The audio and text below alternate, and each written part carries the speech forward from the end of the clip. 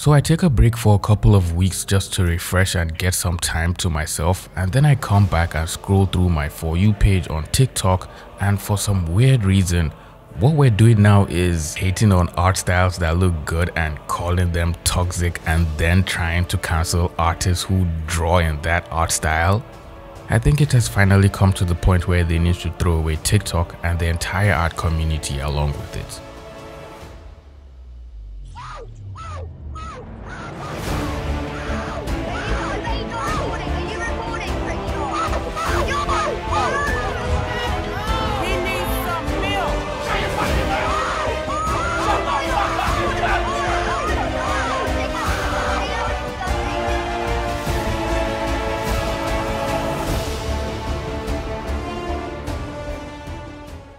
Hey how's it going and welcome back to my channel. Today we're going to talk about the popular jelly art style which has unanimously become the most hated art style in the art community on TikTok. The jelly art style has been causing a whole lot of drama this past couple of days and getting people to express how much pent up hate they have stored in their bodies deep down for this art style. Reading some of these comments just made me wonder, how do you even have time to consider hating on an art style? I dislike the jelly art style. It looks so odd. Jelly art style is so overrated and I never liked it to be honest. I am an avid hater of the jelly art style that shit does not look as good as everyone says it does. It's just an art style. You guys are taking it a little too seriously in my opinion. At this point, I think it's safe to assume that artists are no longer allowed to draw whatever they enjoy or make art that is true to themselves anymore. It doesn't matter if you're a beginner artist, young, old, or ancient artist. As long as you happen to share your art on social media, there's always going to be a group of people who will carefully rip your work apart and nitpick until they find something problematic about your work. Anyway, if you're new to this channel and love listening to art commentary style videos or just videos talking about the art community in general, please subscribe to the channel and join the Discord using the link in the description.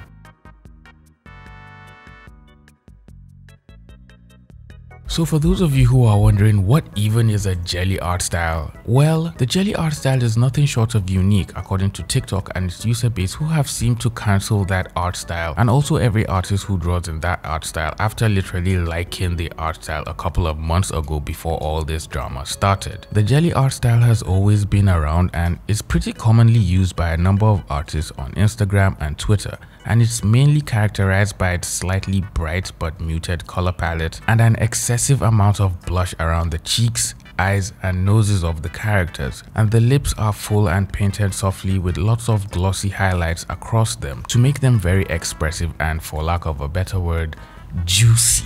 Now out of all these aforementioned features of the jelly art style, the features that stand out the most and make people want to gorge out their eyes every time they see another jelly art style post on their timeline is the eyes. The eyes in every jelly art style post I've seen are always so intriguing. For the most part, they're rather larger than the other features of the face, which further sets them apart and makes them stand out jarringly, with either a troubled expression in them or a soulless, emotionless look as if they're staring into your mind and judging you for all the mistakes you have made in your life. Another thing that makes them stand out is just the sheer amount of catchlights and glitter artists tend to add in them. And I'm assuming that is understandable because just like every other artist, I myself also happen to have an unhealthy addiction to adding unnecessary highlights in the eyes even if they don't make any sense aside from making the drawing look a tad bit cooler. The characters drawn with the jelly art style range from goth girls to our regular Pinterest cute girls, but there's always a rather excessive need for giving these characters piercings and accessories that make the drawings look edgy and cool. You basically can't call your art jelly art if your character doesn't have a septum piercing and a number of other weirdly placed facial piercings just to make them look interesting for the most part. The jelly art style has always been popular on other social media platforms and as TikTok started growing and increasing its user base, some of these artists slowly transitioned onto TikTok and started posting their work on there. And at the beginning before all this drama started, new young and impressionable artists saw this art style and immediately became attracted to it and wanted to learn it and in the long run gradually adopt it into their process. But we all know how that ends up in the art community. Anytime an artist or group of artists stumble on a technique that happens to be appealing to the young audience, they either start gatekeeping it or calling other people who try to draw in that technique tracers or art thieves, or both of them if the shoe fits evenly. And this has been a common occurrence in the art community both on Twitter and TikTok.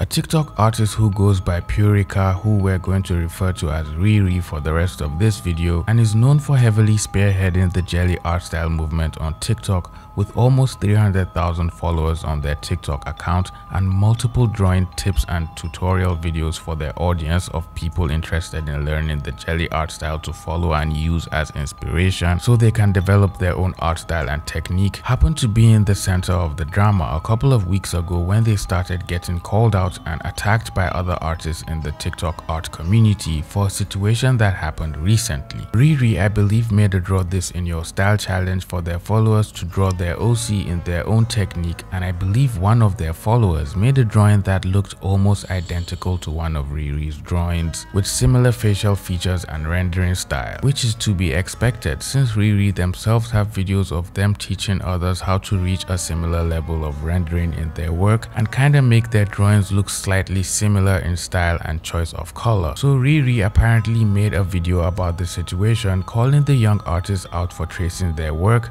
which then garnered a lot of views and had people attacking the young artist for tracing, which is just something that always happens in the art community. Whenever a bigger artist talks about a situation, there's always people who are going to take their love for the said artist a little too far to the point where they start to attack the accused younger artist because they don't have enough followers and people who can stand up for them and defend them in this situation and they sadly don't particularly have a platform for them to defend themselves. Now I'm not using this as a form of idolizing art theft or saying tracing or copying another artist's work directly is right, but I believe as an artist with an exceptionally large amount of followers, it is crucial to understand that a big number of people following you are not just following you because they like cats, grapefruit, and Fortnite in no specific order, they are literally following you because they like your art, and something particular about your art style is attractive to them, and whether you like it or not, a good number of them are going to copy your work for inspiration. And quote unquote steal your technique and stylistic choices. It's just how inspiration and art styles work.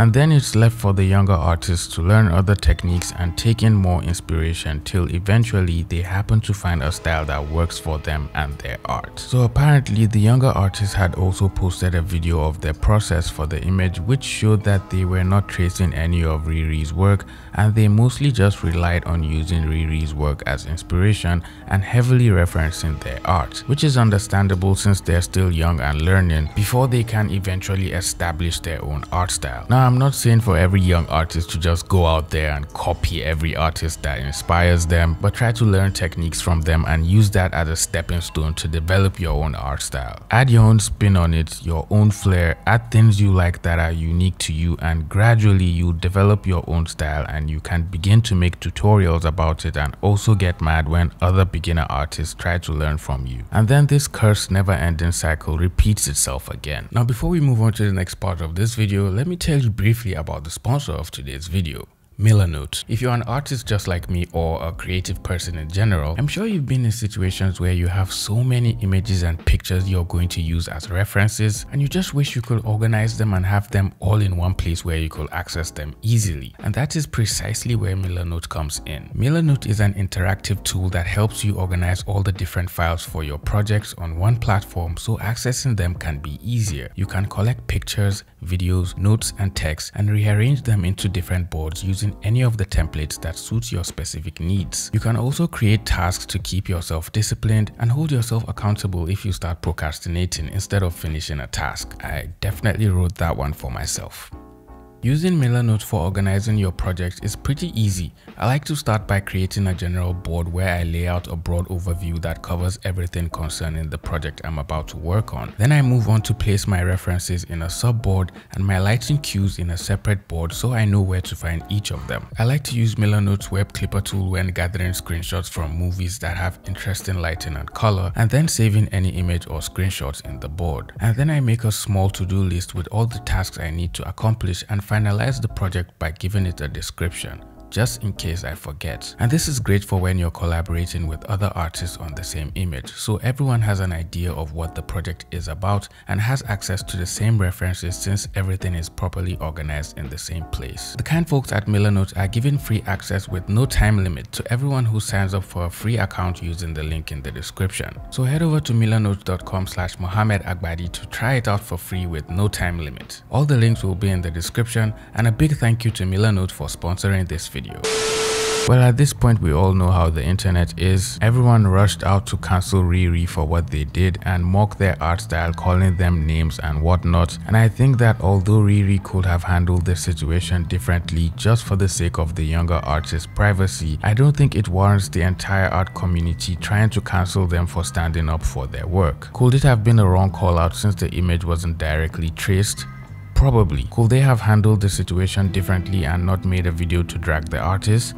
Absolutely, but I still don't think it's enough to cancel them for what they did. Even if they wanted to cancel anyone, Start with the people who went to the comments and started attacking the young artist for no reason. Address those people first before you then try to cancel an artist that has already stated in their profile they don't want other people copying or tracing their work for reference. And just before people take my words out of context, let me iterate it again. I don't condone what Riri did to the artist. I would have totally handled it in a different manner, but I still don't think it's cool trying to cancel Riri for that. Other artists left comments regarding the situation situation on TikTok and most of them kinda had a lot to say. I just dislike her because of the way she acts. She is immature, calling a pedo and racist and calling them white when they're not. I'm pretty sure sending a hate mob after a kid twice, making false pedophilic allegations over criticism and telling someone to off themselves does. She literally has history of doing this to small artists and she tells people to off themselves like it's something normal so often because they do something she dislikes.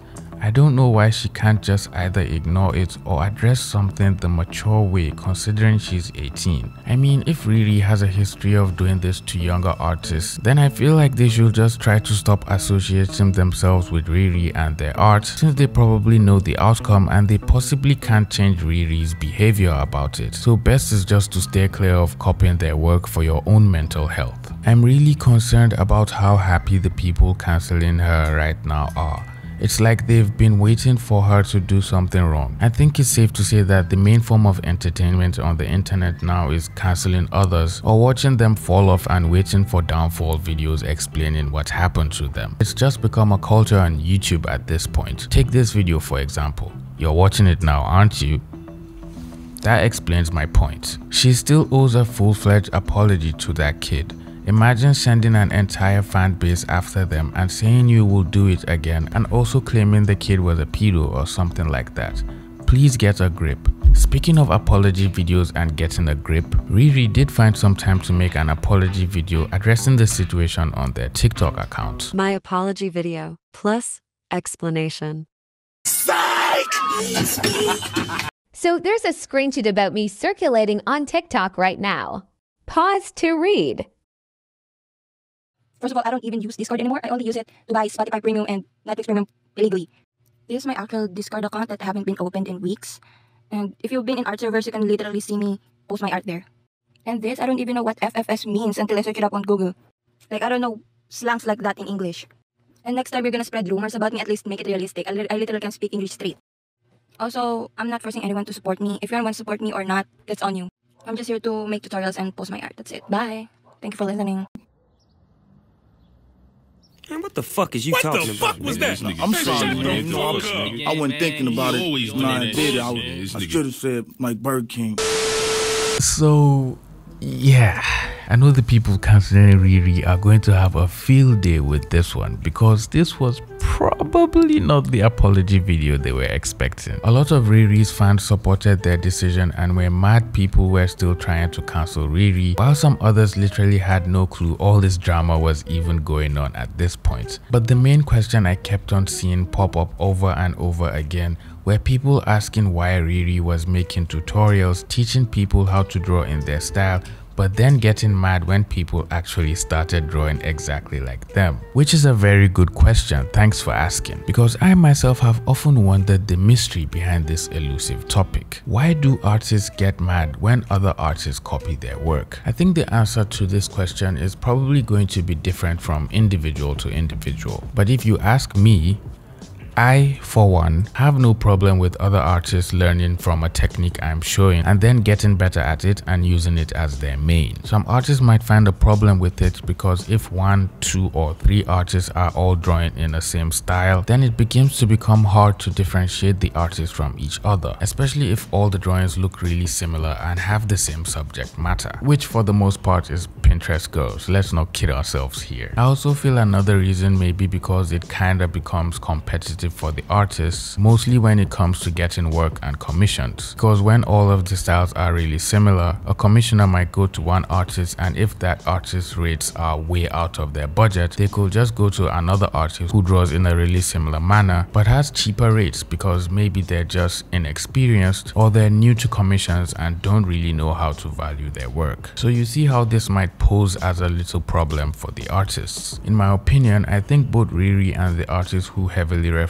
their work are at fault at various degrees and all this could have been avoided if the artist just took some inspiration from Riri and then went off with it. But I believe they're still young so you can't entirely blame them for wanting to draw exactly like their favorite artist or produce art similar to that. So moving forward, I hope other young artists see this situation and learn from it so they don't happen to fall into drama similar to this and have an entire server come for their art just because they tried to draw like an artist they admire. Even after the satirical apology video and everything, it seems most of the people in the art community are still mad at Riri and there are still more videos being posted to TikTok by artists validating the younger artists and trying to explain to Riri why what they did was wrong. Riri is genuinely disgusting. You're whole ass adult being proud of your fans harassing a literal child.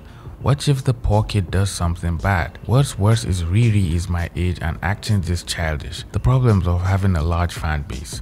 People are most likely, if not always, immature. Sorry man, but anyone who gets a kid banned from TikTok just for drawing in their style deserves all harassment. Poor kid's passion is probably killed. I just hope the kid can still stay motivated after all of this because the internet can be pretty weird and people might still come back after all this has died down just to harass them for the fun of it, which is just a bad and terrible thing to do. Please don't do that. I predicted this issue since every piece in this style is so extremely similar because many people who use this style follow instructions without understanding why and knowing basic anatomy rules. I mean, I guess that's why everyone just hates the jelly art style and says it's overrated and overused because almost everyone on TikTok is either using that same art style or a variation of it. Even people who are still learning art and really don't understand how to draw perfect anatomy. But anyway, I think the style is great. I think the artists who use it and understand how to draw good anatomy are great. And everyone should just get along with each other and stop all this nonsense of hating an art style or just shaming others for their work and how they draw their work. It's just art, man. Like, let people enjoy drawing what they like to draw. If you don't enjoy the jelly art style, that's fine. Let people who enjoy it, enjoy it in peace. Don't just try to cancel them because of what one artist did or what the entire art community is saying. The art community is meant to be a fun place where people can show their work and get feedback from each other, not get cancelled because their drawings have one too many highlights in the eyes or too much blush and piercings. Anyways, that's all I have for you today. If you enjoyed this this video, please leave it a like, share it with one friend who hates the jelly art style and share it to the other person who draws in the jelly art style and subscribe to the channel if you're new here. With all that being said, I'll see all you pretty penguins in the next video. Bye.